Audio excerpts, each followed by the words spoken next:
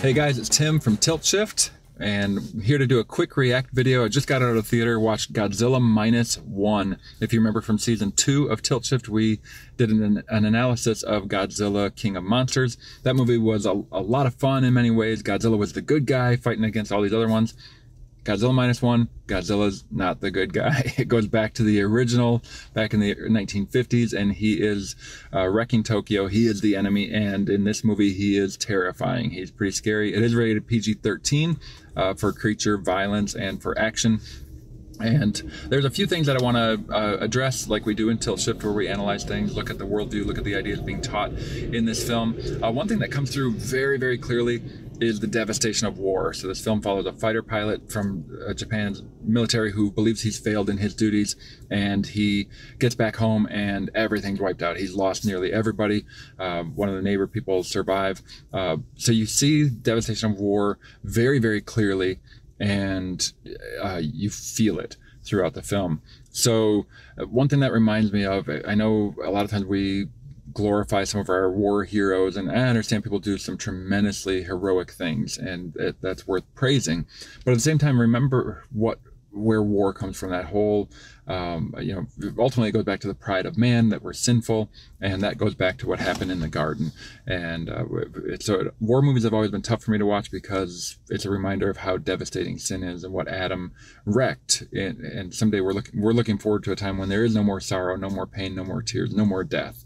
Uh, so believers that's what we should be longing for rather than uh, glorying in war. Uh, the film doesn't glorify war it, but it just shows the harsh reality of it.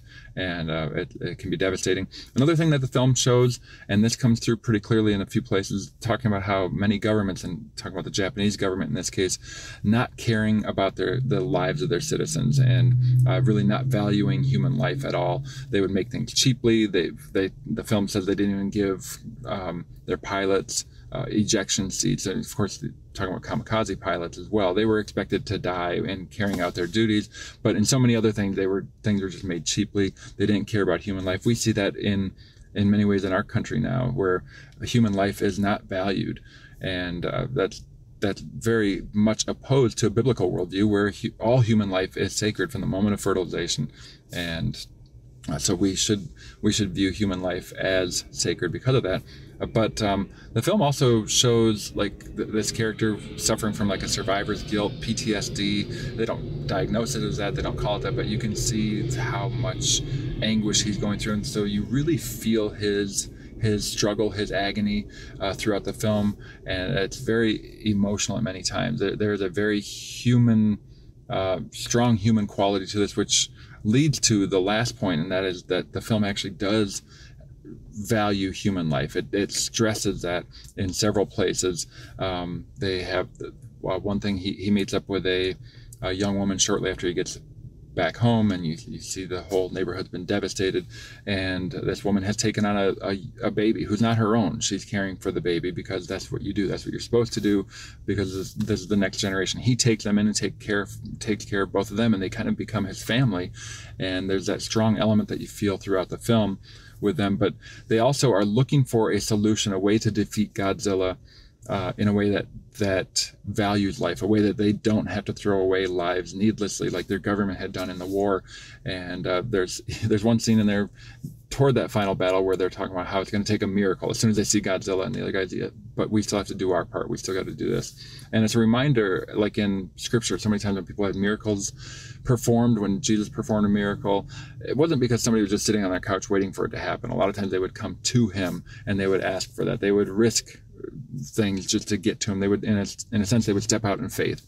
And so we still have to play our part. God has called us to uh, to live a godly life.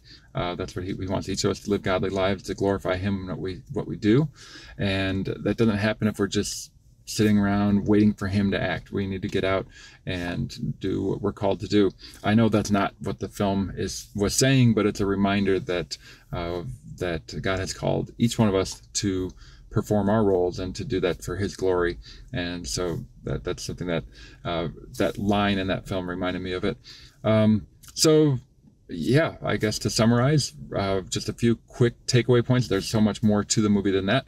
Um, it's a powerful film in that you f- you feel pretty emotional in many places, and um, the talk about the the value of human life, and um, and if you like Godzilla, you get to see lots of Godzilla even early on. You don't have to wait for a very long time, so um, it will have you on the edge of your seat at Tilt Shift. Let me remind you to watch what you watch.